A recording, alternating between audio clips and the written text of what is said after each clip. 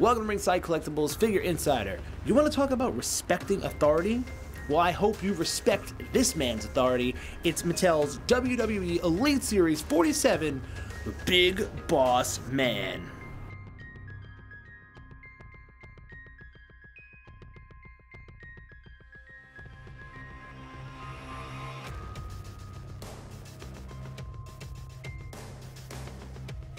The Big Boss Man. He was just a guy that you didn't want to mess with. This was probably my favorite reincarnation of the Big Boss Man. Having him in his police uniform was alright, but the SWAT uniform, that was 100% my favorite.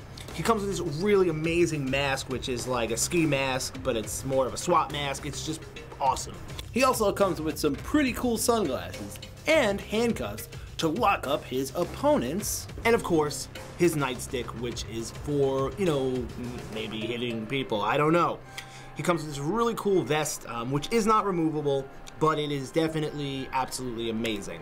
The Big Boss Man has a very mean, sinister look in his eyes, and of course, he's grilling really hard because, well, he was a very angry guy. His hair is short, and of course, he does have his goatee going on, and the head scan is 100% accurate. Moving down, you see his tactical vest, much like you see Roman Reigns wear these days. I wonder where he got the idea from.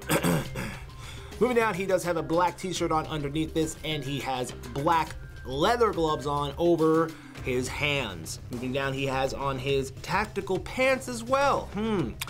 Looks like the fourth member of the Shield. Or was he the first member? I don't know.